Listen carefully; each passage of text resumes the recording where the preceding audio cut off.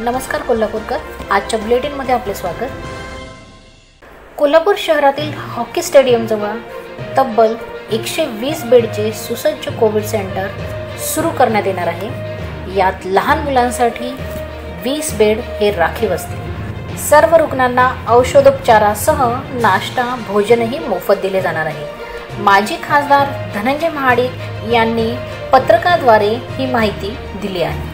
आम्ही सगळे मिळून महाडिक परिवार मिळून इथं एक कोविड सेंटर अद्यवत पद्धतीचा सुरू करण्याचा निर्णय घेतलेला आहे. आत्ताच आम्ही त्याची सगळी माहिती घेतलेली आहे. यामध्ये साधारण एकशे पंचवीस ते एकशे पन्नास बेडचं एक सुसज्ज असं हॉस्पिटल होऊ शकतं आहे आणि हे सगळे जे बेड आहेत आम्ही सगळे शंभर टक्के ऑक्सिजनचे बेड करणार आहोत. कारण आज ऑक्सिजनचे बेड उपलब्ध होत नाही आहेत व्हेंटिलेटरचे बेड उपलब्ध होत नाही. एका सेक्शनमध्ये व्हेंटिलेटरचे सुद्धा बेड आम्ही करणार आहोत.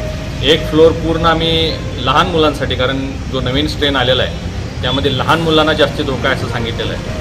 तर एक फ्लोअर लहान मुलांसाठी सुद्धा आम्ही इथं करणार आहोत आणि अत्याधुनिक पद्धतीनं सगळ्या सुविधा इथं असणार आहेत. त्यांची खाण्यापिण्याची व्यवस्था स्वच्छतेची व्यवस्था ही सगळे लोक या ठिकाणी भाग घेऊन त्यांचा औषधोपचार हे सगळंच्या सगळं हे मोफत इथं आम्ही करणार आहोत.